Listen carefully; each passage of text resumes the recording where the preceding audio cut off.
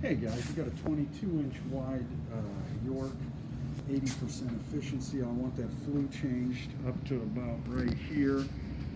Uh, 1625 by 1. We're going to want to put a 4 inch box and make the new filter size 2025 by 1. Uh, 10 by 24 on the drop. Probably a 3.5 ton AC. New humidifier. Um, so long and thanks for listening. Uh,